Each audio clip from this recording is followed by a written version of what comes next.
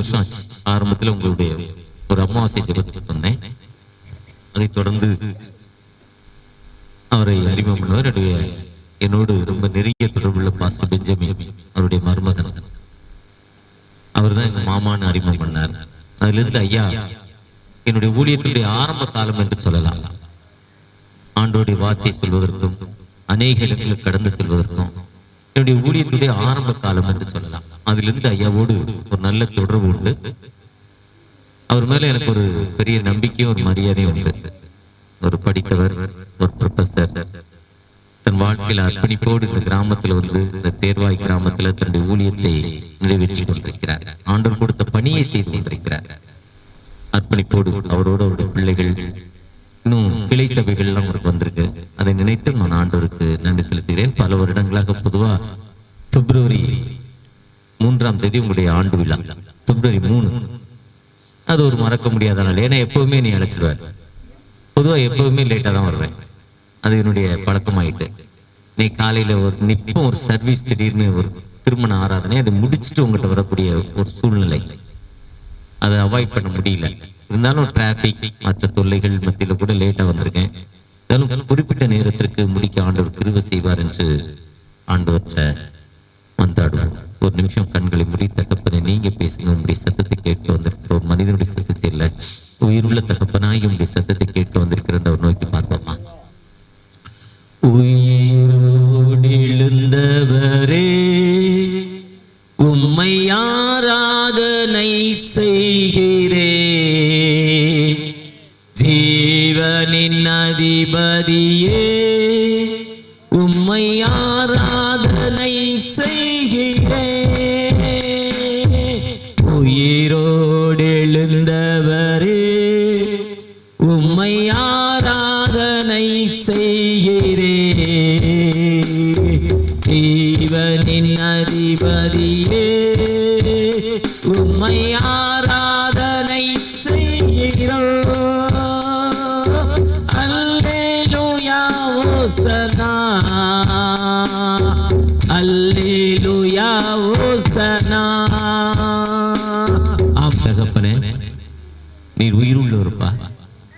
எங்களுடைய விண்ணப்பத்தை கேட்கிறப்பா எங்களை பார்க்கிறவருப்பா?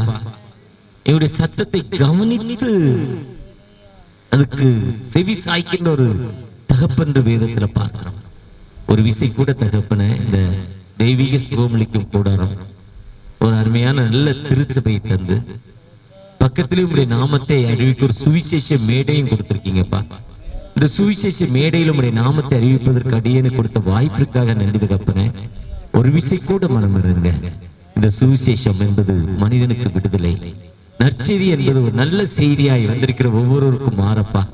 இது ஒரு விடுதலின் செய்தியாய் மாறக்க தகப்பனே ஒரு மீட்பின் செய்தியாய் மாற உங்களுடைய பிரசனம் எங்களோடு இறங்க வேண்டுமாய் எங்களோடு இறங்க வேண்டுமாய் இறங்கி நிற்கிற தகப்பனே.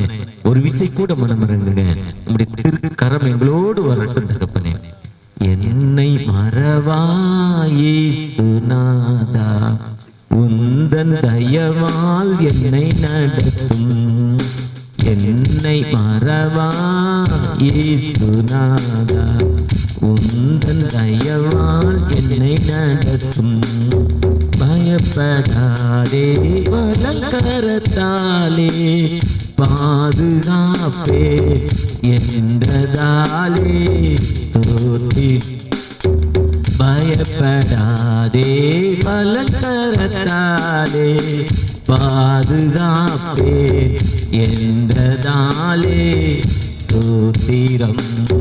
ஏழை என்னை நின் கையில் நின்று எவரும் பறிக்க இயலாதே.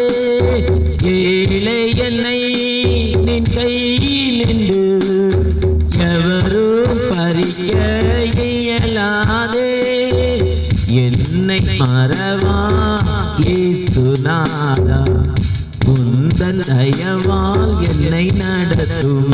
ஆம் தகப்பன நீங்க பேசுங்க. நாங்கள் கேட்கிறோம். என் கண்மலையும் என் மீட்பெருமாய கர்த்தாவே வாயின் வார்த்தைகளும் அமர்ந்திருக்கிற ஒருவருடைய இருத்தின் தியானங்களும் உற்சவத்தில் பிரியாய் இருப்பதாக. ஆமேன் ஆமேன் ஆமேன். அன்புக்குள்ளே ஆண்டவரும் ரட்சருமாய கிறிஸ்துவின் நாமத்தில் உங்களை வாழ்த்துகிறேன். ஒரு பெரிய விவசாயி தன்னுடைய விவசாய பூமியிலிருந்து விவசாய வேலையை பார்த்து கொண்டிருக்கிறார். கூட அவருக்கு ஒரே பையன் பக்கத்துல பெரிய லேக் குளம். பெரிய குளம் செங்கல்பட்டு ஏரி மாதிரி. தமிழகத்திலே ஏரிகள் மாவட்டம் செங்கல்பட்டு மாவட்டம் சொல்லுவாங்க. அன்னைக்கு திருவள்ளூர் செங்கல்பட்டு காஞ்சிபுரம் ஒண்ணா இருந்துச்சு. அதில் அந்த செங்கல்பட்டு மாவட்டம்னு வாங்க அதில் அந்த பெரிய ஏரியே செங்கல்பட்டுல தான் சொல்லுவாங்க. அப்படி ஒரு லேக் அதில் அந்த பையன் நான் போய் குளிக்க போறேன்னா இதே மாதிரி ஒரு சம்மர் வெக்கேஷன் சீசன் சரிடா போய் நீச்சல் அடி குளிட்டானாரு அவர் ஏர் ஓட்டிக்கிட்டே நிலத்தை ஏர் ஓட்டிக்கிட்டே இருக்காரு பையன் அந்த குளத்துல குளிச்சுக்கிட்டே இருக்கான் அவன் அப்படி குளிச்சுக்கிட்டே இருக்கிறப்போ தன்னுடைய மாட்டு வண்டி ஏரையும் ஓட்டிக்கிட்டு பல வருஷங்களுக்கு முன்னாடி ஒரு சம்பவம். ஓட்டிக்கிட்டு அந்த பையனையும் பார்த்துக்கிட்டே இருக்கிறார். அவன் சுப் பண்ணி நல்லா சுப் பண்ற பையன். அப்படி நல்லா சுப் பண்ணி அவன் நடு லேக்குள்ள நடு குளத்துக்குள்ள போயிட்டான். நல்ல ஆழமான பகுதி. அவனை நோக்கி அவனை கேட்ச் பண்றதுக்காக ஒரு- திமிங்கிலம் அவனை நோக்கி வந்து கொண்டு அவனை பிடிக்க போகுது. இவர் தூரமா ஏன்னா அந்த குளத்துல நிறைய திமிங்கலங்கள் உண்டு. கும்பகோணத்துல போனீங்கன்னா அணக்கரைங்கிற ஒரு சின்ன நதி தான் இருக்கும். கொஞ்சம் தான் தண்ணி இருக்கும். ஆனா பாத்தீங்கன்னா நிறைய இருக்கும். அதுல நிறைய அந்த திமிங்கலங்கள் கிடக்கும். அது தண்ணியில பவர் ஜாஸ்தி. அதோடைய பவர் எவ்வளவு சொல்லுவாங்கன்னா யானையோட பவர் எவ்வளவோ வெளியில அதை விட மூன்று மடங்கு தண்ணியில பவர் இருக்கும்? ஆனா யானை இடையில இருந்து நூறுல ஒரு பகுதி தான் இருக்கும். யானை நூறு கிலோன்னா அது ஒரு கிலோ. ஏன்னா ஆயிரம் கிலோனா அது நூறு கிலோ தான் இடம் இருக்கும் அந்த அளவுக்கு அது இடம் கம்மி பவர் ஜாஸ்தி. அது அந்த பையனை நோக்கி மூவ் பண்ணிடுச்சு. அவனை கேட்ச் பண்றதுக்கு. தூரமா இருந்து தன் நிலத்தை ஓர் ஓட்டி கொண்டிருக்கிற சத்தம் my son return for me நீ என்னிடத்தில் திரும்பு. என் மகனே என்னிடத்தில் திரும்ப. ரிட்டர்ன் ஃபார் மீ என்னிடத்தில் திரும்ப என்று சத்தமா போடுற அப்பாவுடைய சத்தம் கேட்டு நடு குளத்துக்குள்ள ஸ்விம் பண்ணி போய்கிட்டு இருக்க பையன் அப்பாவோடு நோக்கி வர்றான். அப்பா கரையில இருந்து ரெடியா நிக்கிறாரு. தண்ணிக்குள்ள இறங்கி பையனை தூக்குனே ஏன்னா தண்ணிக்குள்ள அதுக்கு பவர் ஜாஸ்தி. தண்ணிக்குள்ள போனா அதை அதுல இருந்து யாருமே காப்பாற்ற முடியாது. அது வெளியில வந்து அதுக்கு பவர் இல்ல. சாதாரண ஒரு தெண்டில் ஓனாய் அளவுக்கு தான் அதுக்கு பவர் ஆனா தண்ணிக்குள்ள இருக்கும் பல்ல மடங்கு. அதனால அவர் ரெடியா தண்ணியில நிக்கிறார். பையன் வந்தானே தூக்கணும்னு? அவன் கரை பக்கத்துல வரவும் அந்த பொற்கடையில் போய் அந்த அவனுடைய தொடையை பிடிச்சிருச்சு. அவன் கரை பக்கத்துல வர அவர் கையை பிடிச்சிட்டார். அவர் தொடைய அதனுடைய வாயில அந்த பையனுடைய இந்த கால் பகுதி இருக்கு. கைப்பகுதி அப்பாட்ட இருக்கு. அவன் இப்படி சுட் பண்ணி வர்றப்போ கையை பிடிச்சிட்டார். அவர் தன் மகனை இழுக்க அந்த மிருகம் அந்த திமிங்கலம் அவனை இழுக்க பெரிய போராட்டம் சில நிமிடங்கள் சில செகண்ட்ஸ் ஆனா அவர் விடாப்பிடியா தன் மகனை இழுத்தே ஆக வேண்டும் இழுக்கிறப்போ அதன் பகுதியில் ஒரு பெரிய சதை துண்டு அந்த இடத்தை விட்டு கடந்து போய் அந்த பையனை அவர் தூக்கிட்டார். தூக்கிட்டு வந்தார் ஹாஸ்பிட்டல் அட்மிட் பண்ணார். பல நாட்கள் ஹாஸ்பிட்டல் அட்மிட் பண்ணியிருந்தார். பல நாட்கள் அட்மிட் பண்ணியிருக்கப்போ ஒரு குறிப்பிட்ட நாள் கழிச்சு அதனுடைய கொக்கு தண்ணிக்குள் இருந்து ஒரு திமிங்கலத்திலிருந்து ஒரு பையன் பாதுகாக்கப்பட்டான். அதன் பத்திரிகையெல்லாம் கேட்டு ஒரு பத்திரிகை நிருபர் பேட்டி எடுக்கிறார். அந்த பத்திரிகை நிருபர் பேட்டி எடுத்து அந்த பத்திரிகை நிருபர் அந்த பையனை பேட்டி எடுக்கிறாரு. அப்ப அந்த பத்திரிகை நிருபர் கேட்கிறாரு உன்னை அந்த கொற்கடையில் கடித்த பகுதியை காட்டுப்பாங்கிறப்போ அந்த பையன் சொல்றான் அதை விட என் கையை பாருங்கப்பா. அது பெரிய பள்ளம் தான் இல்லைங்கல்ல ஆனா எங்க அப்பா என் கையை இந்த மணிக்கட்டை பிடித்து இழுத்ததால அப்படி ரெண்டு கைகளும் அதுல படைந்து அதோட சின்ன காயம் இருக்கு பாருங்க. இது அன்பின் கரம். அவர் தன்னுடைய பாசத்து நிமித்தம் என்னை இழுத்து அந்த காலை பாக்குறப்ப பெரிய பள்ளம். ஆனா அந்த கையில சின்ன பள்ளமா இருந்தாலும் அவனுக்கு என்ன டச் பண்ணுச்சுன்னா எங்க அப்பா அப்படி டைட் பண்ணி நீ தூக்கலன்னா நான் இன்னைக்கு என்ன பண்ணியிருக்க மாட்டேன்? மூன்று மாதங்களுக்கு முன்னால மறித்து போயிருப்பேன். ஆனால் நான் இன்னைக்கு மறிக்காமல் இருப்பது என் தகப்பனுடைய பாசம் லவ் என் தகப்பனுடைய அன்பு. அதுதான் எபிரேயர் பதிமூன்றாம் அதிகாரம் ஐந்தாம் வசனம் சொல்லுது நான் உன்னை விட்டு விலகுவதும் இல்லை உன்னை கைவிடுவதும் இல்லை. நீங்கள் பண ஆசை இல்லாதவர்களாய் நடந்து உங்களுக்கு இருக்கிறவைகள் போதும் என்று நீங்கள் நாங்கள் உன்னை நான் உன்னை விட்டு விலகுவதும் இல்லை உன்னை கைவிடுவதும் இல்லை என்று சொல்கிறேன் ஆண்டவர் எப்பவுமே நம்மை கை நாம நினைக்கிறோம் கடவுள் நம்மை கைவிட்டுட்டாருன்னு. கடவுள் இப்போ ஒரு சில கஷ்டங்கள் வேதனைகள் வந்தோடனே ஐயோ கடவுளுக்கு என் மேல கண் இல்லை. கடவுள் என்னை விட்டு கைவிட்டுட்டாரு. இன்னும் நாம நினைக்கிறோம். ஆனா கடவுள் சொல்றாரு நான் உன்னை விட்டு விலகுவதில்லை. உன்னை கைவிடுவதில் என்று சொல்லும் ஒரு ஜீவனுள்ள ஆண்டவர் நம்மோடு கடந்து வந்திருக்கிறார். அதே மாதிரி ஆ, இருபத்தி மூன்றாம் அதிகாரம் இருபதாம் வசனம் சொல்றாரு ஒரு தூதனை நான் உனக்கு முன்பாக அனுப்புகிறேன். அவர் சொல்றாரு யாத்திராகம் இருபத்தி இருபத்தி மூன்று இருவ இருபதாம் அதிகாரம் நான் உன் தூதனை ஐ சென்ட் ஃபார் உன் ஏஞ்சல் என்று சொல்கிறார். வழியில் உன்னை காக்கிறதற்கும் என்னை எஸ்காட் பண்ணி காக்கிறதுக்கும் நான் ஒரு தூதனை உனக்கு முன்பாக அனுப்புகிறேன். நான் ஆயத்தம் பண்ணின ஸ்தலத்திற்கு உன்னை கொண்டு போய் சேர்க்கிறதுக்கு இதோ நான் உன் தூதனை உனக்கு முன்பாக அனுப்புகிறேன். ஒருவேளை இன்னைக்கு நான் ஐம்பது அறுபது கிலோமீட்டர் வந்திருக்கேன். அறுபது கிலோமீட்டர்ல எவ்வளோ வண்டிகள் எவ்வளோ டிராபிக் எவ்வளோ பிரச்சனை. ஆனா பிரச்சனையின் மத்தியில நான் இங்க வந்து சேர்ந்திருக்கிறேன்னா கடவுள் எனக்கு முன்னால் ஒரு தூதனை அனுப்பியிருக்கிறேன் எனக்கு பின்னால அது ஏசாய ஐம்பத்தி ரெண்டு பன்னிரெண்டு சொல்றார் கத்தர் தாமே முன்னே போகிறவர். இஸ்ரவேலின் தேவன் தாமே உனக்கு முன்னாகவும் உனக்கு பின்னாகவும் உன்னை காக்கிறவர் என்று சொல்கிறார். கர்த்தர் எனக்கு முன்னால போறாரு எனக்கு பின்னால வராரு. எப்போ அவர் என்னை காக்கிறவர்? ஒருவேளை ஒரு சில ஒரு சிலர் தங்களுடைய தெய்வங்களை ஆராதிப்பாங்க. அந்த தெய்வம் ஒரு சில நாளைக்கு சொல்லும் நீ செத்து போ ஏன் இருக்கிற? உன் பிள்ளைய சாகடி. உன் கணவரை எனக்கு பலி கொடுத்துரு. பொண்டாடி எனக்கு ஒய்ஃப் எனக்கு பலி கொடுத்துரு. உன் மனைவிய. இன்னும் அதெல்லாம் கேட்கும் அதெல்லாம் கேட்கிற ஜீவ பலியை கேட்கிற கடவுள் இந்த காலத்துல நிறைய இருக்கு. இல்ல அதுவே நம்மளை பயம் காட்டி சாக அடிக்கும் எல்லாம் உண்டு. எங்க அப்பா சொல்வாரு என்னுடைய வயசு பிப்டி எயிட்ல இருந்து அறுபது எண்பத்தெட்டுல இருந்து அறுபதுக்குள்ள இருக்காங்க அவருடைய அறுபது வயசுல எங்களை உட்கார வச்சு அவர் ஒரு நாற்பத்தஞ்சு ஐம்பது வயசுல எங்களை ஒரு வச்சு கதை சொல்லுவார். நாங்க டெவலப் ஆகுறது. பிராக்டிக்கலா நடந்த சம்பவங்களை சொல்வார் கிராமத்துல வாழ்றப்போ இதே மாதிரி காலங்கள்ல பணம் இன்னைக்கு அதாவது பனஞ்சாறு பதநீர் கல் நொங்கு விற்கிது அந்த நொங்கு எடுத்து வெட்ட நொங்கு அதை வெட்டாம அப்படியே விட்டா போனால நாள்ல பழுத்து தன்னாலே கெழுவும் அது பேர் பணம் பணம். அதை எடுத்து அந்த வீட்டுல அவிச்சிட்டு அவிச்ச பிறகு கத்தியில வெட்டி அது நார் நாரா வரும். அதை சாப்பிட்டா அவ்வளவு டேஸ்ட் பசிக்கு ஒரு காலத்துல பஞ்சத்துல அதான் சாப்பாடு அந்த ஏழை மக்களுக்கு. ஒரு விவசாயம் இல்ல தண்ணி இல்லை. அது ஒரு ஆறு மாசம் தண்ணி இல்லைனாலும் ஒரு வருஷம் தண்ணி இல்லைனாலும் அந்த பனைமரம் தாங்கும். ஏன்னா பூமிக்கு அடியில போயிருக்கு. இருபது வருஷம் கழிச்சுதான் காய் காய்க்கும். அது வளர்றதுக்கு அதுக்கு அதனுடைய லைஃப் நூறு நீ தான் நீ பனையை போல் செழித்திருப்பாயின் பைபிள் சொல்லுது. அதனுடைய லைஃப் ரொம்ப அதிகம். எனக்கு தெரிஞ்சு எங்க தாத்தா காலத்துல வச்ச மரமே இன்னும் நல்லா இருக்கு. ஆனா ஒரு மூணு வருஷம் நாலு வருஷம் தண்ணியில தான் செத்து போகும். ஒரு வருஷம் ரெண்டு வருஷம் பஞ்சத்தை தாழும். அதுதான் உணவு.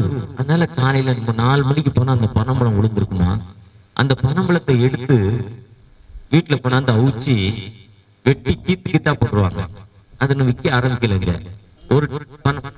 அதை எடுக்க போவாங்களாம். அவருடைய நண்பரும் இதே மாதிரி ஒரு கிராமத்துல அந்த ரோட்டோரமா இப்ப கிராமத்துக்குள்ள நடந்து வந்தா ஐயா வந்திருக்காரு. ஐயா ஊருக்கு போற வழியில நிறைய பாலங்கள் இருக்கும். ரெண்டு பேரும் மூணு பேர் உட்காந்து தண்ணி அடிச்சுக்கிட்டு இருப்பாங்க. இதே மாதிரி நிறைய கிராமங்களுக்கு போறப்போ பாக்குறோம். ஆனா போய் நமக்கு ஏதாவது வழி கேட்டா நல்லா சொல்லுவாங்க கிளியராக சொல்லுவாங்க. அப்படிப்பட்ட மக்கள் இருக்காங்க.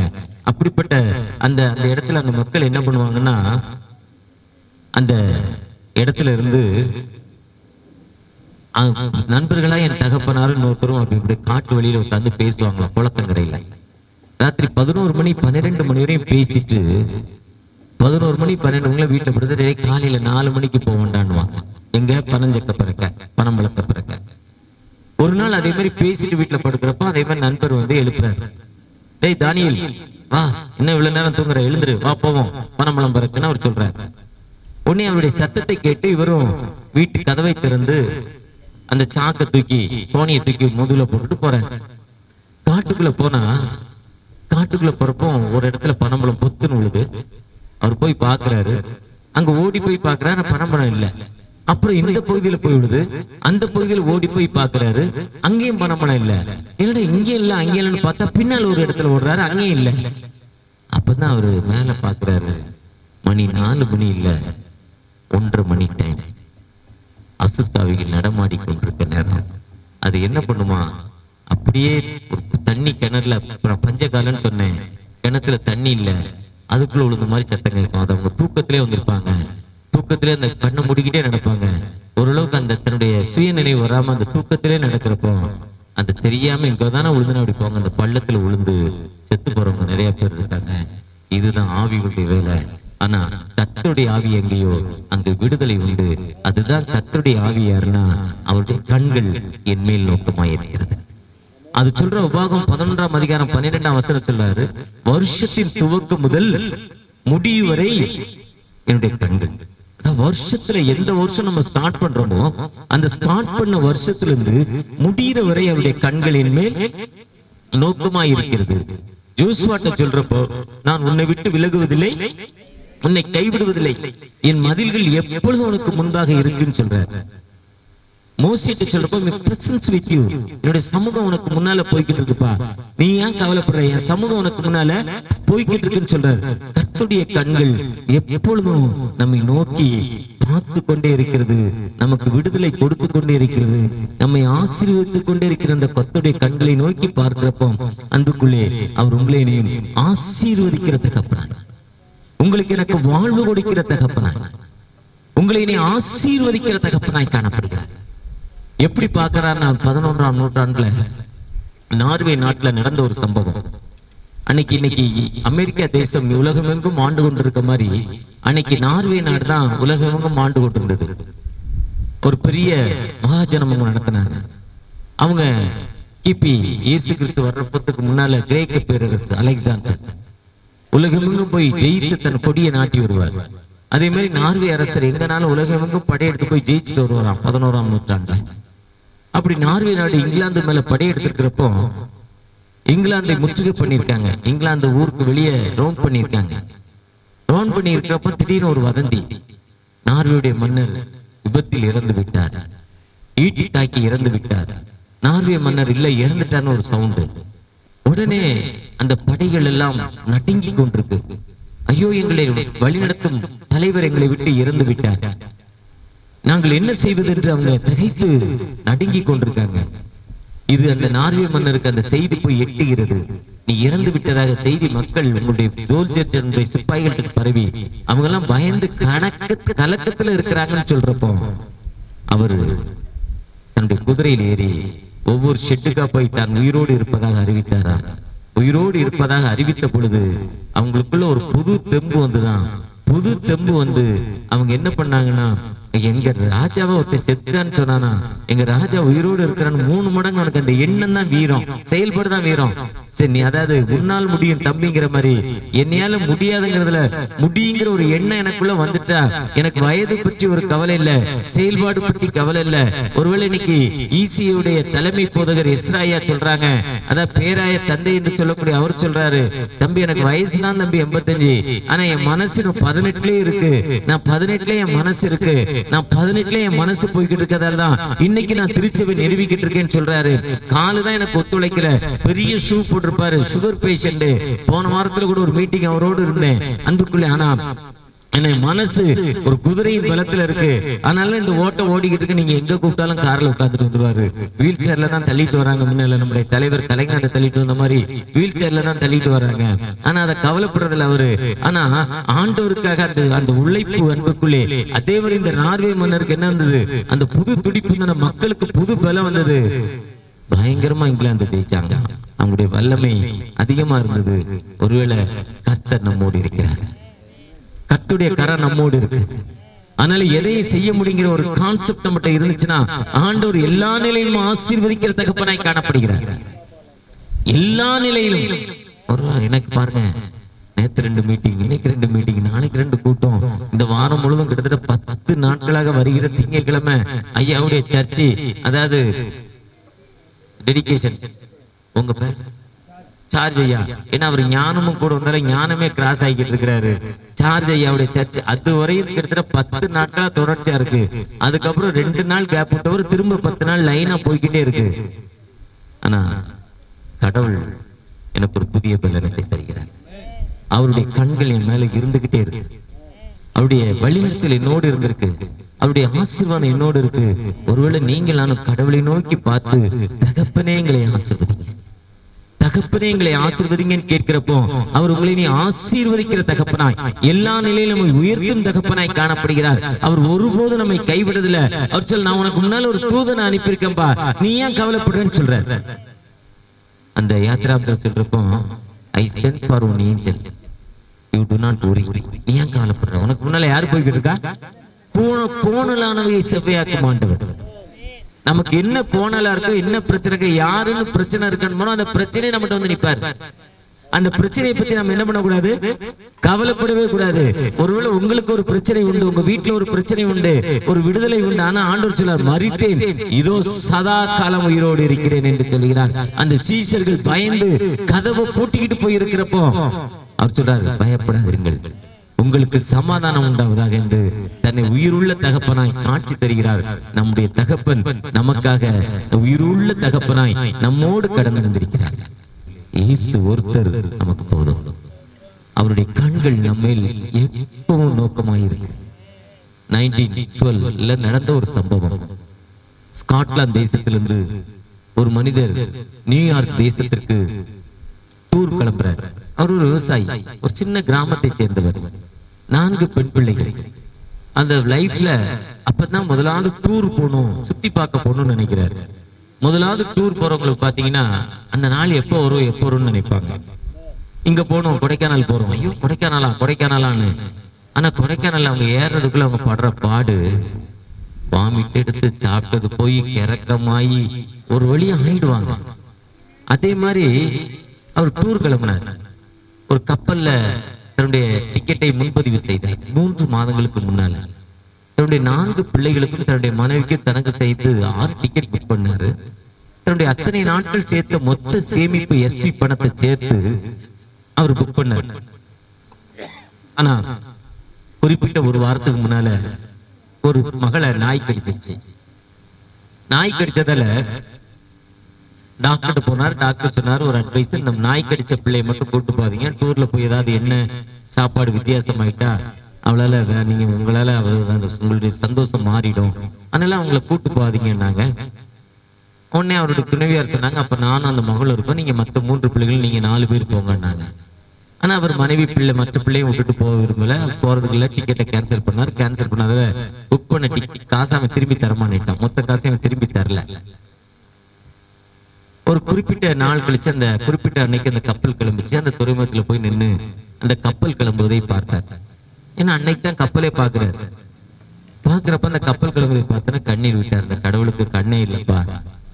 என்னுடைய சொந்த இவ்வளவு நாள் சேர்த்த பணத்தெல்லாம் நான் புக் பண்ணி அனுப்புனா புக் பண்ணா கடவுள் பாருங்க கண் இல்லாம என் மகளை நாய் கடிக்க விட்டுட்டாரு.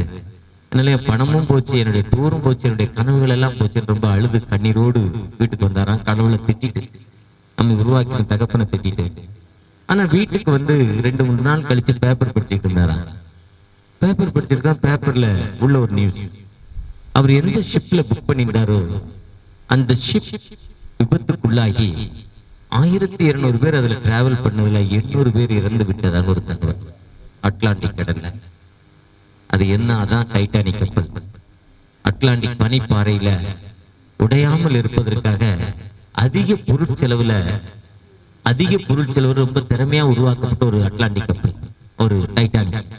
டைட்டானிக் படம் ரெண்டு வருஷம் ஓடிச்சு சென்னையில அந்த கப்பலுக்காக. அது லவ் ஸ்டோரின்னு சொல்லுவாங்க. அதுல அதனுடைய சரித்திரங்கள் நிறைய. அப்பதான் அவர் வீட்டை விட்டு வெளியே போய் அந்த எந்த நாய் தன் மகளை கடிச்சு அந்த நாயை தேடினார் அதுக்கு மாலை போட்டுருக்கு ஏன்னா அந்த நாய் கடிக்கலாம் அவர் என்ன பண்ணியிருப்பாரு போயிருப்பாரு. ஒருவேளை அவருடைய குடும்பங்கள் என்ன இருக்கும் இருந்திருக்காது. கடவுள் எந்த அளவுக்கு நம்மை பாதுகாத்திருக்கிறார் பாருங்க. ஒருவேளை சில நேரங்களில் நமக்கு சில பிரச்சனைகள் வருது கண்ணீர் வருது துன்பம் வருது வேதனை வருது. அந்த வேதனையை பார்த்துட்டு நம்ம நினைக்கிறோம் தகப்பனே நீர் எங்களை நினைக்கலப்பா. நீர் எங்களை நினைக்கலப்பா. நாங்க கஷ்டத்துல இருக்கோம் வேதனையில் இருக்கோம் நம்ம நினைக்கிறோம். ஆனா கடவுள் எப்பவுமே நம்ம கைவிடுறதில்லை. நம்ம எப்பவுமே கைவிடுறதில்லை. சில நேரத்தில் சில காரியங்கள் விபத்துகளோ சில கஷ்டங்கள் சில துன்பங்கள் சில வேதனைகள் நம்ம மத்தில வர்றப்போ கடவுள் இப்படி எனக்குப்பட்ட வேதனை துன்பங்களை கொடுத்திருக்கிறாரே? எனக்கு இது கஷ்டம் எதுக்குன்னு கேட்கிறப்போ ஆனா ஒரு குறிப்பிட்ட நாள் கழிச்சு தெரியும் அவர் கொடுத்ததின் ஒரு நோக்கம் எதுக்காக நமக்கு கொடுத்தார்? எதுக்காக இந்த வியாதியை எனக்கு கொடுத்தார்? எதுக்காக இந்த இந்த பிரச்சனை எனக்கு கொடுத்தாருன்னா ஒரு குறிப்பிட்ட நாள் கழிச்சு தான் நமக்கு தெரியும். ஒருவேளை அந்த தாவீது இன்னைக்கு ஒருத்தர் பெரிய தலைவர் ஒருத்தர் போன் பண்ணி தாவீது தன்னுடைய பசிபால்டத்தை பிறந்த குழந்தை பிறந்த பொழுது அது இறந்த பொழுது அவன் அது இறக்குற வரையும் அது உடம்பு சரியில்லாம இருக்கிற வரையும் அவர் பாஸ்டிங் இருக்கிறாரு. தலையில எண்ணெய் வைக்கல எழுந்திருக்கல குளிக்கல பல்லு விளக்கல. படுத்து அழுது கொண்டே இருக்கிறார். வேலைக்காரெல்லாம் ராஜா அப்படி கிடக்குறான்னு வேலைக்காரெல்லாம் டென்ஷன்ல இருக்கான். யாருமே சாப்பிடல. ரெண்டு சாமியில் பன்னெண்டாம் பதினாறாம் அதிகாரத்துல இருக்கு நினைக்க பன்னிரெண்டாம் அதிகாரத்துல இருக்கு. ரெண்டு சாமியில் பன்னிரெண்டோ பன்னிரெண்டுல இருக்கு. யாருமே சாப்பிடல. ஆனா அந்த குழந்தை இறந்த உடனே தாவிது வேகமா எழுந்தாரு. நல்லா பல்லு விளக்குனாரு. நல்லா குளிச்சாரு. தலைக்கு எண்ணெய் தைச்சாரு சாப்பாடு கொண்டு வாங்கடானாரு அழகா சாப்பிட்டுட்டு போய்கிட்டே இருக்கிறாரு. வேலைக்காரனுக்கு ஒண்ணுமே புரியல. என்னது ஒண்ணுமே இப்படி அழுதுக்கு அழுது கடந்தாயா சாப்பிடாம இருந்தார் ராஜா? குழந்தை செத்த உடனே தைரியமா சாப்பிடாரு என்னன்னு புரியாம என்ன ராஜான்னு கேக்குறப்போ என் குழந்தைக்கு ஜீவனை தருவான்னு கடவுள்கிட்ட இருந்தேன். ஆனா கடவுள் என்ன பண்ணல? அவருடைய சித்தம் இல்ல. அவருடைய சித்தத்துக்கு நான் ஒப்பு கொடுத்துட்டேன். அவருக்கு சித்தம் இல்லாதனால எடுத்துக்கிட்டாரு. அவர் நினைச்சிருந்தா என்ன பண்ணிருக்கலாம்? எனக்கு நல்ல ஒரு குழந்தையை கொடுத்திருக்கலாம். அதுதான் யோபு சொல்றப்ப கத்தர் கொடுத்தார் கத்தர் எடுத்தார். கத்தருடைய பரிசுத்த நாமத்துக்கு தோத்திரம் என்று யோபு சொல்றான். யோபுடைய மனைவி சொல்றாங்க யோபுடைய திருவாணமாக்கி துணியெல்லாம் ஊத்துட்டாரு. உடம்பெல்லாம் கட்டி வந்துட்டு பொத்து பொத்து வடியுது. செலமும் அதாவது வெயில் காலத்துல வேக்கூர் வர மாதிரி வேக்கூர் ஒரு சிலர் கட்டியா வரும். கட்டியை இழுத்து விட்டா புண்ணு சலமும் தண்ணி வரும் நாத்தடிக்கும். அதே மாதிரி யோபுடைய உடம்பு ஃபுல்லா கட்டி தண்ணி வடிஞ்சிட்டு இருக்கு. நாத்தம் யாருமே வரல. நம்ம மனைவி ரெண்டாவது அதிகாரத்துல சொல்ல ஏன் ஏன் இருக்கிற? உன்னை உண்டாக்கின கடவுளை நீ திட்டிட்டு செத்து போடாங்கிறாரு. அந்த அம்மா சொல்லுது யோபு சொல்றாரு என்ன சொல்றாரு? நன்மை பெற்றனா தீமையை நம்மகிட்ட எவ்வளவு நன்மை ஆண்டவர்கிட்ட வாங்கியிருக்கோம். இதுவரை எனக்கு கடவுள் எவ்வளவு நன்மை செய்திருக்கிறார். ஒருவேளை நன்மை பெற்ற நான் ஏன் ஏன் தீமையை பெறணும்? நான் என்னை பற்றி சொல்லலாம்னு நினைக்கிறேன். ஒரு நாள் என் வண்டியில நான் டிராவல் பண்ணிட்டு இருக்கோம் எனக்கு குருநாதர் ஒரு பாஸ்டர் இருக்கார். எந்த வசனம் எங்க ஃபோன் பண்ணி கேட்டால் உடனே சொல்லுவார். அவர் என் கூட வந்துகிட்டு இருக்கிறாரு. நல்ல மதிய நேரம். என்கிட்ட ஏதோ ஒரு பழம் வாங்கினோம். அவர் சொன்னார் அண்ணே நான் சுகர் எனக்கு வேண்டான்னு சக்கரை வியாதி எனக்கு இருக்குன்னு. அவர் சொன்ன ஜூம் பண்ணிட்டு சாப்பிட ஒன்றும் செய்யாது விசுவாசம். என்ன சொல்றாரு? ஜூம் பண்ணிட்டு சாப்பிட ஒன்றும் செய்யாதுங்க. நான் கொஞ்ச நேரம் திக் பண்ணிட்டு ஜூம் பண்ணிட்டு சாப்பிட்டா ஒன்றும் செய்யாது. நீ விசுவாசித்தால் தேவனுடைய மகிமையே விசுவாசியே நீ கற்று விசுவாசியே நீ பதறாதே. கட்டத்தில் நம்பிக்கையா இருக்கும் உயர்ந்த நிறைய வசனம் இருக்கு. ஆனா எனக்கு இந்த சக்கர வியாதியை கொடுத்தது யார் யாரு யார்? எனக்கு சுகர் வியாதியை கொடுத்திருக்கா? கடவுளுடைய நாலேஜ் இல்லாம எனக்கு சுகர் வியாதி வந்திருக்குமா? இருபத்தஞ்சு வருஷமா இருக்கு. ரெண்டு தடவை ஊசி போடுறேன். உடம்புல ஓட்ட போடுறேன் ரெண்டு தடவை. பதினஞ்சு மாத்திரை சாப்பிடுறோம் ஒரு நாளைக்கு. நேரத்தை ஒருத்தர் பார்த்துட்டு இவ்வளவு மாத்திரை சாப்பிடணுமான்னு கேட்கிறாங்க உணவு மாதிரி மாத்திரை சாப்பிடுறேங்கிறாங்க. ஆனா இது யாரு பெர்மிட் பண்ணியிருக்கா? கடவுள் எனக்கு பெர்மிட் பண்ணியிருக்கிறார். எனக்கு கடவுள் சுகர் வியாதியை கொடுத்து எனக்கு பெர்மிட் பண்ணியிருக்கிறார். ரோடு போடுறோம். எதுக்கு? போடாத ரோட்ல வேகமா போகுது வண்டி. போட்ட ரோட்ல வேகமா போக வண்டி போகும். ஆனா ஸ்பீட் பிரேக் எதுக்கு போடுறோம்? போட்ட ரோட்ல. வேகத்தடை. நின்று பார்த்து கவனித்து செல்லு உற்பத்தி ஏற்படக்கூடாது. அப்ப வாழ்க்கையில வியாதி என்பது நான் வேகத்தடை என்று நான் சொல்லுவேன். என் அறிவு கேட்டது உங்க அறிவுக்கு வேற மாதிரி கூட எட்டலாம். உன் பாவம் தான் உனக்கு வியாதின்னு சொல்லலாம் அதெல்லாம் உண்மைதான். என்னுடைய பாவம் தான் எனக்கு வியாதி அதுதான் உண்மை. ஆனா என் வாழ்க்கையில எனக்கு ஒரு வேகத்திலே ஆண்டவர் கொடுத்திருக்கிறார் ஞானத்தை கொடுத்திருக்கிறார். ஞானத்தை கொடுக்கிறப்ப அதுக்கு ஏத்த மாதிரி ஞானத்தை கொடுத்த ஆண்டவற்ற ஜோ மினிட் சாப்பிட்டா எப்படியா சரியா அவர் தான் நீ சாப்பிட தானே உனக்கு கொடுத்திருக்கிறாரு? சுகர் வியாதி கொடுத்தது நோக்க நீ சாப்பிடக்கூடாது. இன்னைக்கு அழகா வாட்ஸ்அப்ல ஒரு ஒரு அம்மா பேசுறாங்க. இப்ப லேட்டஸ்டா பிரபலியம் ஆகிருக்காங்க கண்ணை ஆட்டுறதுல தலையை ஆட்டுறதுல இப்ப லேட்டஸ்டா அவங்க அந்த தமிழை பத்தி பேசுனாங்க. இப்ப இன்னைக்கு வேற எதையோ பத்தி பேசுனாங்க. அப்ப வியாதியை பத்தி பேசுறப்போ சக்கரை வருமுன்னா சக்கரை வியாதி இல்ல. அவங்க சொல்றாங்க உப்பு அயோடிட் சால்ட் அது வருமுன்னா என்ன இல்ல? உப்பு நீர் உடம்புல இல்ல. மினரல் வாட்டர் ஒரு லிட்டர் இருபது ரூபா. அது வரும்னு என்ன இல்ல? ஸ்டோன் இல்ல. எப்போ ஸ்டோன் வந்திருக்கு? எப்போ இது வந்திருக்கு? இயற்கையா? பூமிக்குள்ள தண்ணிய அடிச்சு அத குடிச்ச என்ன இல்ல? வியாதி இல்ல. நீ என்னைக்கு அந்த தண்ணி எடுத்து மிஷின்ல விட்டு அது கெமிக்கல் போட்டு மினரல் பண்ணியும் அந்த கெமிக்கல் உள்ள போய் என்ன அது ஸ்டோன் ஆகுது. அதே நேரத்துல நான் குடிக்க மாட்டேன்னு போறான்னா இப்ப நான் வெண்ணி கொண்டு வந்திருக்கேன். இந்த தண்ணியை தவிர வேற இந்த தண்ணியை குடிச்சா நீ கொண்டு அட்மிட் என் நிலைமை இவ்வளவு பரிதாபமாயிடுச்சு. ஆனா இயற்கையான தண்ணியை குடிச்சா என்ன பண்ணும்? ஒண்ணுமே பண்ணாது. ஆனா இப்ப நாம் அந்த நிலைமையிலிருந்து போயிட்டோம். முன்ன இந்த சுகர் வரும்னு நம்ம பனவெல்லாம் சாப்பிட்டோம் மண்டவெல்லாம் சாப்பிட்டோம் இயற்கையா சாப்பிட்டோம். ஆனா இன்னைக்கு அந்த இயற்கை உணவு நல்ல பனவெல்லம்னு சொல்றான் ஒரிஜினல் சொல்றான். ஒரு கிலோ ஐநூறு சொல்றான். சீனி விலை ஒரு கிலோ அறுபதாயிரம். சக்கரை விலை ஒரு கிலோ. நாற்பது ரூபா. அப்ப எத்தனை கிலோ சக்கரை வாங்கலாம்? எட்டு எட்டு கிலோ வாங்கலாம். எட்டு கிலோ பத்து கிலோ வாங்கலாம். பன்னெண்டு பதிமூணு கிலோ வாங்கலாம். ஒரு கிலோ. அப்ப நம்ம அந்த விலைக்கு என்ன பண்ண முடியல? அந்த பணம் ஏறுறதுக்கு ஆளும் இல்லை. அந்த விவசாயத்தை மறந்துட்டோம். விவசாயத்தை மறந்து இயற்கையை அழிச்சிட்டோம். இயற்கை அழிச்சதால நமக்கு வியாதி வருது. அந்த அம்மா சொன்ன கருத்து ஒன்றரை நிமிஷம் பேசுது. ஒன்றரை நிமிஷம் நான் அது அது பேசலாம். நான் ஒன்றரை மணி நேரம் அந்த கருத்து அவ்வளவு தெளிவு அந்த அம்மா இன்னைக்கு பேசிச்சு. ஆனா இயற்கையில இருந்து நம்ம வெளியே வந்துட்டோம். அதனால நமக்கு வியாதி. அந்தக்குள்ள இந்த இயற்கை உணவு நம்மகிட்ட போயிட்டு அதெல்லாம் வியாதி. இருந்தாலும் அது வியாதி வர்றதுக்கு காரணம் இது ஒரு பங்கு. இது ஒரு வியாதி அன்புக்குறவுகளே ஆனா கத்துடைய கண்கள் அத்தனை வியாதி இருந்தாலும் எனக்கு ஆண்டவர் சுகத்தை கொடுத்திருக்கிறார். சக்கர வியாதி உங்கள்கிட்ட சக்கரவியாதியை பத்தி பேசணும்னா தெரியல. நல்ல வியாதின்னு சொல்லுவேன். நல்ல வியாதின்னு சொல்லுவேன். எப்படின்னா என் நிழல் இந்த தெரியுது பாருங்க என் கூடயே வருது. நான் இப்படி போனா இப்படி வருது இப்படி போனா இப்படி- வருது. ஆனா அந்த நிழல் இனி என்ன செய்யும்? ஒண்ணுமே பண்ணாது. சக்கரை வியாதி ஒண்ணுமே பண்ணாதுங்க. ஒரு ஒரு ஆராய்ச்சியில கண்டுபிடிச்சுங்க என்னுடைய சர்க்கரை டாக்டர் சொல்றாரு. டயபெட்டிக் உள்ள நான் டயபெட்டிக் பேஷண்ட் நம்ம பாசிட்டிவ் டயபெட்டிக் இல்ல. அவரை பாருங்க ஸ்டேஜ்ல நிக்க மாட்டார். அது உள்ள பழக்கம். நடந்துகிட்டே இருப்பார் ஆடிக்கிட்டே இருப்பார். நீங்க எத்தனை பேர் ரசனம்னா ரசனம் பண்ணிக்கிட்டே இருப்பேன். மேடையில உட்கார்ந்து அவர் அந்த காலத்துல இருந்து அந்த அங்க ஒரு செட்டுல வந்த காலத்துல இருந்து. ஆனா எத்தனை அந்த சக்கர வியாதி வந்து இப்ப அவருக்கு இல்ல எனக்கு இருக்கு. ஆனா நான் சக்கர வியாதி இருக்கும் எண்பத்தி ரெண்டு வயசா அவருக்கு எண்பது வயசுல அவர் இறந்துட்டார். நான் எண்பத்தி ரெண்டு வயசுல உயிரோட இருந்தேன். இது ஆராய்ச்சி கண்டுபிடிச்சிருக்கு. சர்க்கரை வியாதி இருக்க இல்லாத விட இருக்கிறவன் தான் நல்லா இருந்திருக்கான். எப்படின்னா அவனுடைய டயட் கண்ட்ரோல் மூணு இட்லி சாப்பிடணும். காலைல எட்டு மணிக்கு சாப்பிடணும். பதினோரு மணிக்கு ஒரு கிளாஸ் மோர் குடிக்கணும். பன்னெண்டரை மணிக்கு ரெண்டு கப்பு சோறு சாப்பிடணும். நாலு மணிக்கு ஒரு காஃபி சாப்பிடணும். எட்டு மணிக்கு சாப்பிட்டு ஒன்பது ஒரு வைத்தியத்துக்கு போயிடணும் மதுரையில. காலை தேய்ச்சி விட்டா உடம்பு சரியாகுது. அவங்க சொல்றாங்க ஒன்பது எட்டரைக்கு சாப்பிடுங்க எட்டு மணிக்கு சாப்பிடுங்க ஒன்பது மணிக்கு படுத்துருங்க. பத்து மணில இருந்து காலைல மூணு மணி வரையும் அசந்து தூங்குங்க. நாலு மணிக்கு எழுந்தீங்க அந்த பத்துல இருந்து ஒன்பது வரையும் உங்க உடம்புல உள்ள நான் அந்த எல்லா நார்மலையும் அமைதியா இருக்கும்.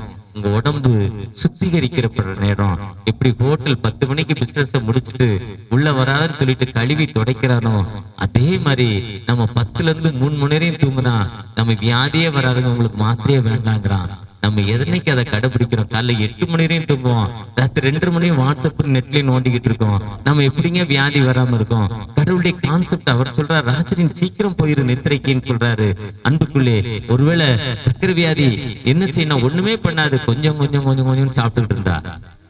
என் கூட எங்க தலைவர் வந்திருக்கிறாரு.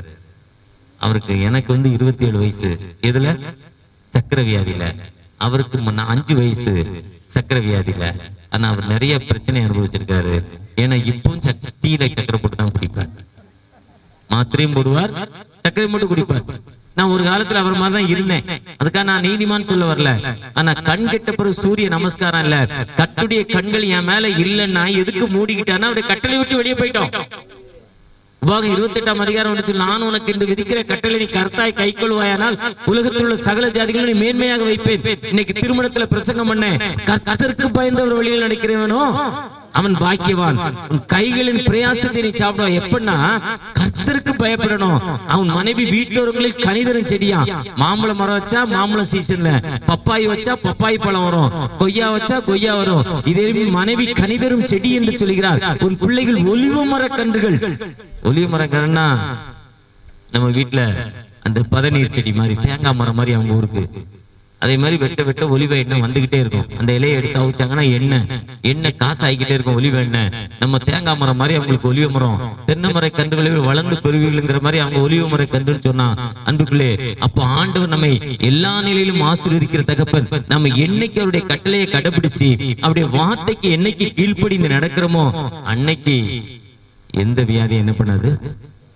நம்ம விடுதலை பெறுவோம். ஆனா நம்ம அவருக்கு பயப்படுறது இல்ல ரெண்டு நண்பர்கள் ஒன்னா பேசிட்டு இருந்தாங்க ரொம்ப நாள் கழிச்சு. அதுல ஒருத்தர் செயின் ஸ்மோக்கர் அவர் பேசிட்டு இருக்கும் அந்த செயின் ஸ்மோக்கர் பிடிச்சுக்கிட்டே இருந்தார்.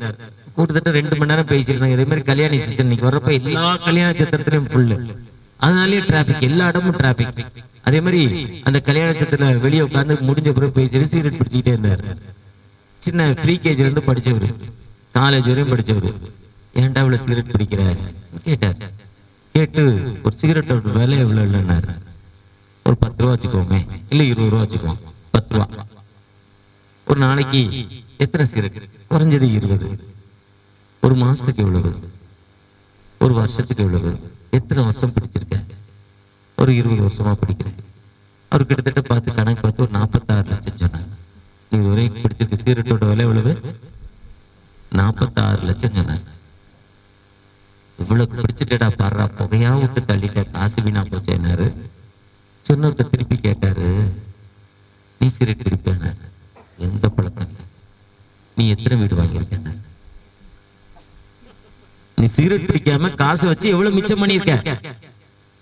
அவர் தலை தொங்கப்பட்டார் இதனால்தான் மத்த ஏழாம் அதிகாரத்துல ஜீசஸ் சொல்றப்போ பன்றிகள் முன் முத்துக்களை போடாத அவன்கிட்ட போனாலும் அவன் கேட்க மாட்டான். அவன்கிட்ட நான் எப்படி அவனை பாப்பா அப்படி காப்பாத்த முடியும்?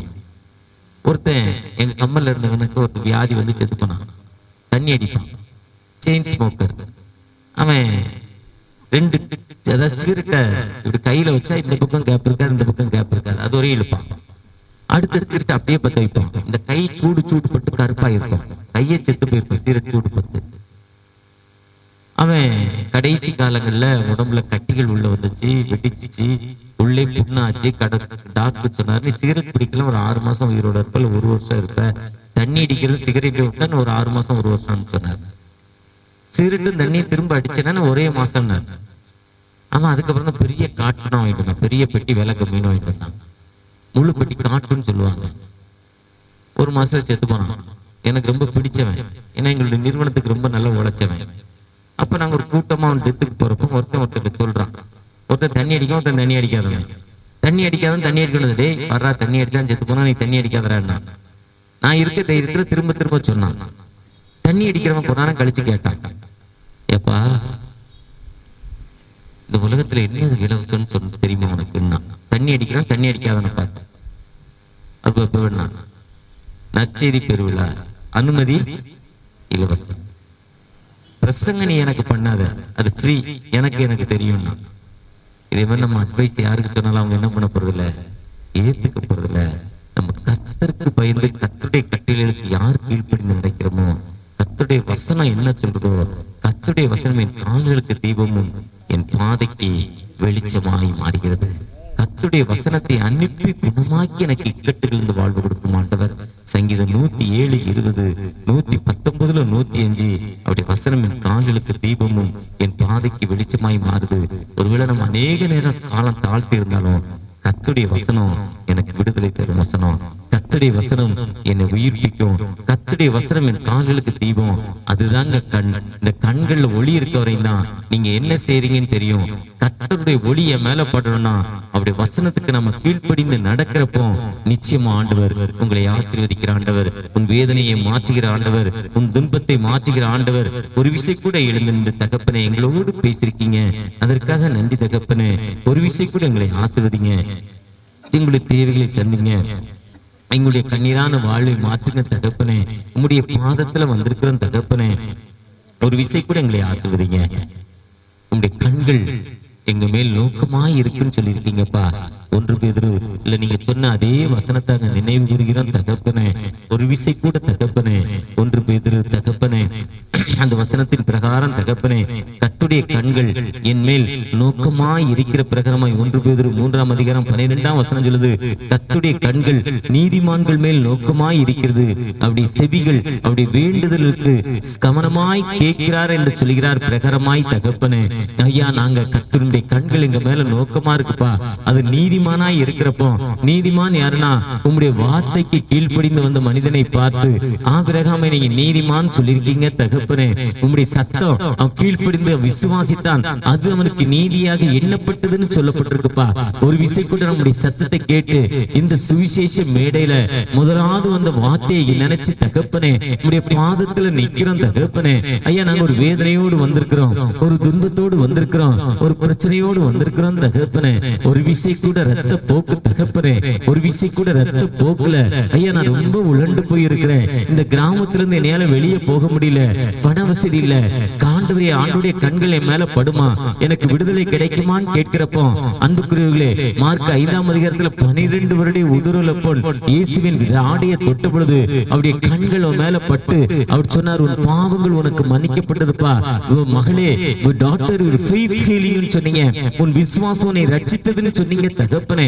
ஒரு விசை கூட இந்த கூட்டத்துல விசுவாசத்தோடு நம்பிக்கையோடு வந்திருக்கிற அந்த மகளை அப்படிப்பட்ட ரத்த போக்குள்ள மகளும் ஒரு கரத்துல தகப்பனே உங்களுடைய வல்லமையின் கரம். அந்த மகளோடு இறங்க வேண்டுமாய் தகப்பனே ஒரு விசை கூட என் பிள்ளை எக்ஸாம் எழுதிருக்காப்பா எக்ஸாம்ல நல்ல மதிப்பெண்ல காலேஜ்ல சீட்டு கிடைக்கல கிடைச்ச சீட்டுக்கு என்னால பணம் கட்ட முடியல. நான் விசுவாசத்தோடு கர்த்தருடைய கண்கள் என் மேல் நோக்கமா இருக்குதா? கர்த்தர் என்னை பாப்பாரா எனக்கு விடுதலை தருவாரா? நீங்க சொல்லிருக்கீங்க நான் உன்னை விட்டு விலகுவதில்லை. உன்னை கைவிடுவதில்லைன்னு சொல்லிருக்கீங்க தகப்பனே. என் தூதனை உனக்கு முன்பாக அனுப்பி உனக்கு ஒரு விடுதலை தருவேன்னு சொன்னீங்க தகப்பனே. அந்த தூதன் எனக்கு அனுப்பி எனக்கு ஒரு விடுதலை தாங்க தகப்பனே. என் கணவருக்கு பணி செய்யற இடங்கள்ல நல்ல பணி இல்லப்பா. பணி நிமித்த வேதனை கண்ணீர் தகப்பனே. ஒரு அமைதி இல்ல தகப்பனே. என் கணவர் கிறிஸ்தவர் இல்லைங்கிறதால ஐயா அந்த கிறிஸ்தவர் என்பதால் அங்க பிரச்சனை தகப்பனே. ஐயா அந்த துவா அந்த அவங்களுடைய மதம் எங்களை நசுக்குகிறது தகப்பனே. ஒரு விசை கூட இங்க விடுதலை தருவீங்களா? என்னை நோக்கி கூப்பிடு. அப்பொழுதுதான் உனக்கு உத்தரவு கொடுத்து நீ அறியாது விட்டாதுமான பெரிய காரியங்களை செய்வேன்னு சொன்னீங்க தகப்பனே. ஒரு விசை கூட வேதனையோடு கண்ணீரோடு கண்ணீரோடு வந்திருக்கிற அந்த பிள்ளைகளை முது கரத்துல தருகிற தகப்பனே நெடுநேரமாய் காத்திருப்பது இருதயத்தை இழைக்கப்படும் விரும்பினது வரும்போது ஜீவ விருட்சம் போல் இருக்கும் வார்த்தையின்படி தகப்பனே ஒரு விசை கூட தகப்பனே உடம்புல இருக்க அந்த வேதனை அந்த வேதனை அந்த கண்ணீரான வாழ்வு தகப்பனே ஐயா ஒருவித பயத்தவலி ஒருவித சோன் தகப்பனே அந்த ஸ்டோன் தகப்பனே இப்பொழுது இப்பொழுது அந்த பிள்ளையை விட்டு வெளியே வர வேண்டுமா அந்த ஸ்டோன்ல இருந்து? அந்த பிள்ளை நீ விடுதலை கொடுக்க போற தயவுக்கா கூட நன்றி. அது உங்களுடைய கண்கள் எங்க மேல வந்திருக்குப்பா. இதோ இந்த நற்செய்தி மேடையிலிருந்து உங்களுடைய வார்த்தை நற்செய்தியாய் எங்களோடு கடந்து வந்திருக்கிற ஒரு விடுதலின் செய்தியாய் மீட்பின் செய்தியாய் ஒரு விசை கூட மனம் இறங்க மனம் இறங்குங்க தகப்பனே. ஒரு விசை கூட ஆசிர்வதிங்க. ஏ ஒரு விதை கூட உங்களுடைய கிருவை எங்களோடு வரட்டும் தகப்பனே. ஆம் தகப்பனே. ஒரு விசை கூட ஒரு நோக்கம் உண்டுப்பா. இந்த இடத்துல நீருக்கு ஒரு மேடை அனுப்பி தெய்வீக சுகமளிக்கும் கூடாரத்துல. நீ சுகமளிக்கும் ஆண்டவர் நம்பிக்கையோடு உடைய பாதத்துல வந்திருக்கிறோம் தகப்பன. இது இங்க இருக்கிற மக்கள் மத்தியிலப்பா. வெளியே கேட்டுக்கொண்டிருக்க மக்களை உமது கரத்துல தருகிற தகப்பன. எனக்கு இந்த விடுதலை கிடைக்காதா? அந்த பன்னிரெண்டு வருடம் உதிரல பெண்ணுக்கு விடுதலை கிடைச்சது எனக்கு கிடைக்காதுன்னு ஏக்கத்தோடு ஜெபிக்கிற அந்த மகளை உமது கரத்துல தருகிறார் இப்பொழுதே ஆண்டவர் தொட்டு கொண்டிருக்கிறார் இப்பொழுது ஆண்டவனுக்கு விடுதலை கொடுத்து கொண்டிருக்கிறார். இப்பொழுது ஆண்டவனை ஆசீர்வைத்துக் ஆசீர்வதித்துக் கொண்டிருக்கிறார். உடம்புல ஒரு விதமான டியூமர் கட்டி கேன்சர் கட்டி எனக்கு அதில் விடுதலை கிடைக்குமான ஏக்கத்தோடு வந்திருக்கிறேன் இது தெய்வீக சுகமளிக்கும் கூடாது. இந்த மருத்துவரால் அல்ல மந்திரத்தினால் அல்ல சக்தினால் அல்ல. தெய்வீக காட் பவர் கடவுளுடைய பவர் இங்க இறங்கி கொண்டிருக்கிற பெயர் கடவுளுடைய பவர் நம்மோடு இறங்கி கொண்டிருப்பதை குறித்து. ஒரு விசை கூட மனம் இறங்கப்பா உம்முடைய கிருபை எங்களோடு இறங்கட்டும் தகப்பனே. இந்த தேர்வாய் கிராமத்தில் அநேக திருச்சபைகள் உண்டு தகப்பனே. இருந்தாலும் மலையின் மேல் இருக்க பட்டணமாய் இது தெய்வீக சுகமளிக்கும் கூடாரமாய். ஐயா வார்த்தை மட்டுமல்ல உங்களுடைய வார்த்தை விடுதலை கொடுக்கிற வார்த்தையாய். அநேக மக்களுக்கு விடுதலை கொடுத்து கொண்டிருக்கிற தயவுக்கா கூட. உம்முடைய வல்லமை எங்களோடு இறங்கட்டும் தகப்பனே. விசேஷமாய் தகப்பனே. அந்த பாஸ்டர் மோன்சிப் பாலா. அவரோடு இணைந்து பணி செய்ய உடைய பிள்ளைகள் திருச்சபை மக்களப்பா. வந்திருக்கிற அநேக திருச்சபை மக்கள் ஒவ்வொருவரையும் ஒரு கரத்துல தருகிறோம். ஆசீர்வதிங்க ஆசீர்வதிங்க உடைய பிரசனம் என்னை ஆசீர்வதிக்கின்ற தகப்பனே.